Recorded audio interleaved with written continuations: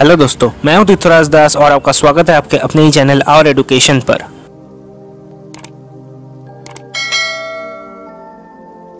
सो so, दोस्तों आप में से हर कोई स्टडी तो ज़रूर करता है। कभी आपने कभी ये सोचा है कि what is the perfect way to study या फिर मैं किस तरह से स्टडी करूँ तो मुझे फुल कंसंट्रेशन मिलेगी। आज वीडियो में दोस्तों बात करूँगा इसी बारे में तो चलते हैं वीडियो में आगे। तो दोस्तों रिसेंटली बात है एक रिसर्च की जिस रिसर्च में पाया गया कि लोग दो तरह के काम करते हैं। एक है डीप वर्क दूसरा है शैलो वर्क डीप वर्क में क्या है? आप कोई एक बुक पढ़ रहे हो तो आप उसी पे कॉन्सेंट्रेट करते हो और सिंगल टास्किंग करते हो।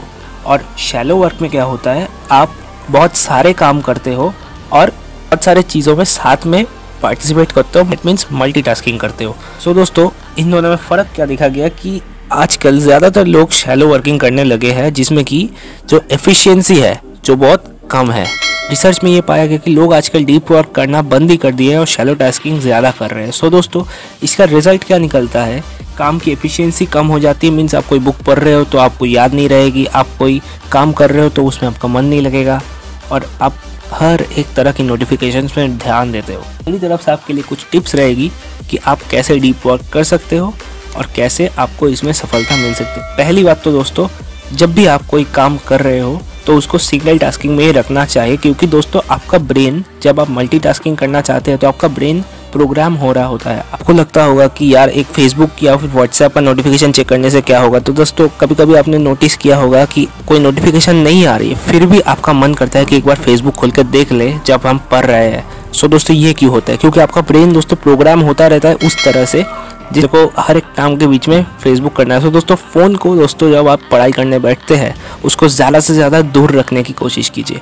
दोस्तों उसके बाद दूसरा टिप आता है, दूसरा टिप आता है कि नोट्स नोट्स हमेशा बनाइए, क्योंकि नोट्स बनाने से क्या होता है, आपका मन लगता है ज़्यादा रैदर देन पढ़ने से। क्योंकि दोस्तों, जब आप नोट्स बनाते हैं, आपकी खुद की हैंड राइटिंग इंस्क्राइब हो रही है, और आपकी हैंड राइटिंग से आपके ब्रेन में कुछ इंस्क्रिप्शन जाते हैं, जो कि आपके लिए बहुत बेनिफिशियल होते हैं। जब आप पढ़ते भी हैं उनको तो आपको बहुत बेनिफिशियल होता है।